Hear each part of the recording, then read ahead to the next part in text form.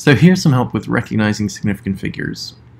Now significant figures have to do with whether a digit in a number adds to the precision of the number or not.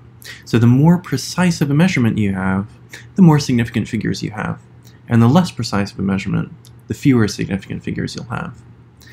Whether a digit is significant or not ultimately boils down to whether it's a non-zero number, or if it's a zero, where it's placed. So if it's a non-zero number, the digit is always going to be significant. It will always add to the precision of a measurement. If it's a zero, it depends where it's placed. If it's placed to the left of non-zero numbers, then it's never significant. It's just a placeholder. If it's in between non-zero numbers, then it's always significant. It always adds to the precision of a measurement. And if it's to the right of a non-zero number, it depends.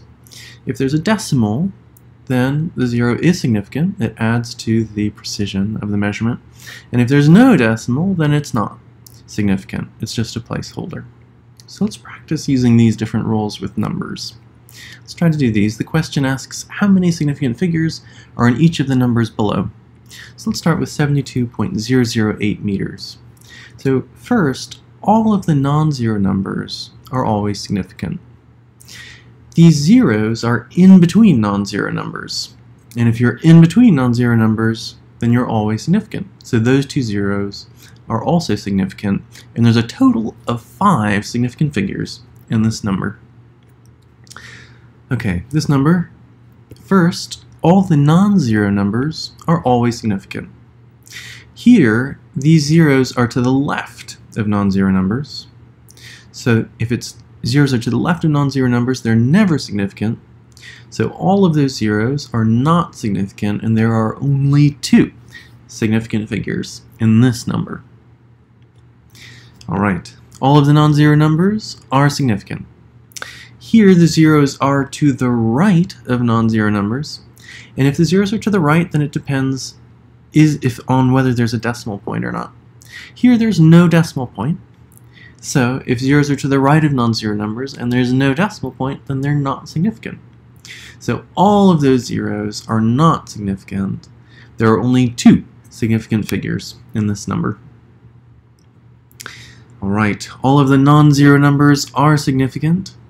Now here we have mm, uh, a couple zeros, but they're, they have different placements. So we're going to think about them separately. First, the zero on the left. That's to the left of non-zero numbers, and zeros to the left of non-zero numbers are never significant, so that zero is not significant. The other zero is to the right of non-zero numbers, and if you're to the right, you have to ask yourself, is there a decimal point in this number? There is, to the left of the 1. So if zeros are to the right of non-zero numbers, and there's a decimal point, then the zero is significant. So here, you have it's to the right of non-zero numbers, and you have a decimal point, so that's significant, and there are a total of four significant figures in this number. All the non-zero numbers are significant, so that 4 there is significant. Now these zeros are to the right of non-zero numbers, so they're to the right of that 4. So we have to ask ourselves, is there a decimal point? And there is, between the two zeros. So zeros to the right of non-zero numbers with a decimal point are significant. So those two zeros are significant. There's a total of three significant figures in this number. Similar question, how many significant figures are in each of the numbers below? Alright, so all of the non-zero numbers, always significant. Here we have multiple zeros and they're in different places. They have different placements, so let's consider them separately.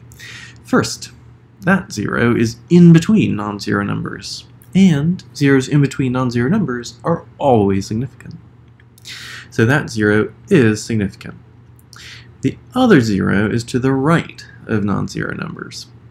So you have to ask yourself, is there a decimal point? And there is between the 0 and the 1.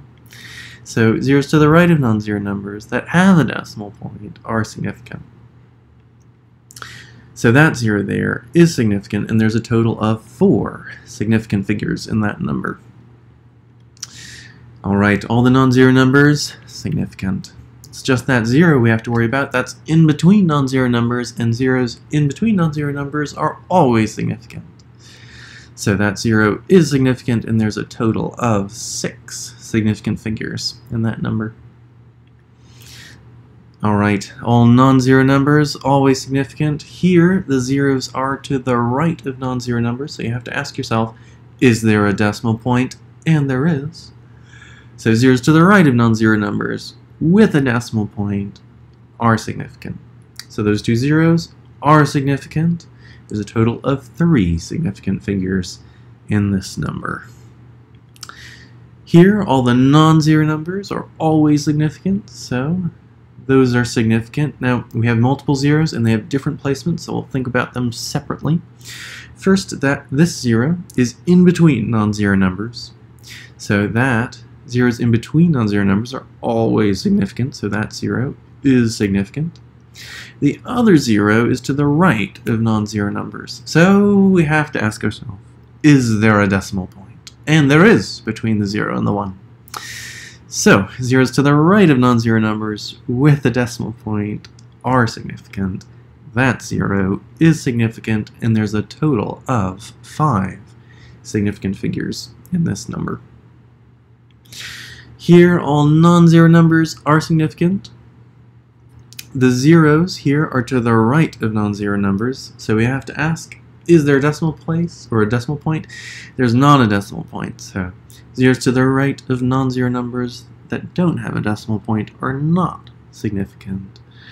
And so none of those zeros are significant. There's only one significant figure in this number. Thank you for your attention.